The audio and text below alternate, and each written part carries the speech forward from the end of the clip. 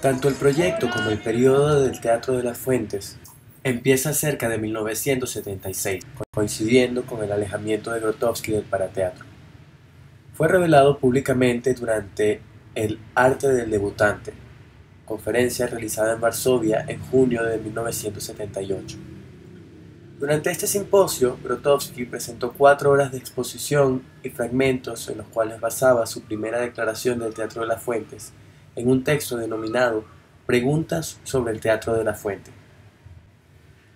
Se trataba pues de una investigación hacia atrás en el tiempo, hacia lo originario, hacia una época hipotética que precedió a las diferencias, en busca de un cuerpo y una mente que suponían estaba presente en el ser humano ancestral.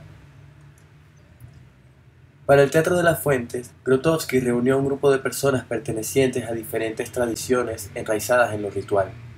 El budismo zen de Japón, el vudú de Haití, los huicholes de México, los bauls de Bengal, entre otras. Grotowski entendía que estas tradiciones guardaban una serie de técnicas de gran potencial para la exploración psicofísica del ser humano. En este sentido, hablaba de estas tradiciones como fuentes de técnicas dramáticas y ecológicas. Lo explica de esta manera. Dramático significa relacionado con el organismo en acción, con el instinto, con la organicidad. Podemos decir que son performativas. Ecológico en el sentido humano significa que están vinculadas a la fuerza de la vida, a aquello que llamamos el mundo vivo, cuya orientación en su sentido más sencillo se puede describir como el no estar bloqueados, no estar ciegos ni sordos frente a aquello que está fuera de nosotros.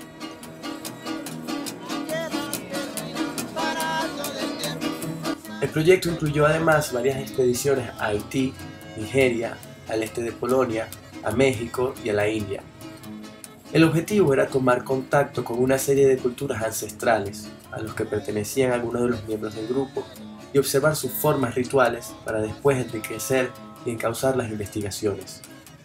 Investigaciones, por otro lado, que claramente habían abandonado el marco teatral y miraban decididamente a las artes rituales. Buscaban elementos de acción física que tuviesen un impacto psicofísico en el actuante similar al que se produce en los rituales ancestrales. En términos prácticos, el trabajo se orientó hacia la elaboración de una serie de movimientos que no se extraían de ninguna tradición particular, es decir, se crearon ex profeso durante ese periodo, y que puestos en acción funcionaban independientemente del origen cultural del individuo. Funcionar no en un sentido teatral, sino espiritual. Querían descubrir elementos de acción donde el complejo cuerpo-voz-mente viviese desprovisto de condicionantes culturales y sociales. Grotowski describía así este procedimiento. Los puntos de partida son generalmente las preferencias personales y no las preferencias de una tradición particular. Una persona realiza ciertas acciones en línea con su preferencia. Después la realiza con alguien que pertenece a otra tradición, a menudo incluso sin poseer un lenguaje en común. Y el primer test consiste en comprobar si esto funciona también en alguien que ha sido condicionado de manera diferente. Si funciona para esa otra gente, entonces encontramos nuestro trabajo en ello. Pero lo que acaba surgiendo tras una larga evolución es algo que siempre es aún más elemental. Uno podría decir que llegamos a algo que es totalmente primario y simple. El trabajo realizado durante esta etapa sirvió de base para lo que se convirtió en el Objective Drama y lo que condujo al arte como vehículo, donde este principio lo llevó a un rechazo de todo principio básico asociado a la representación escénica.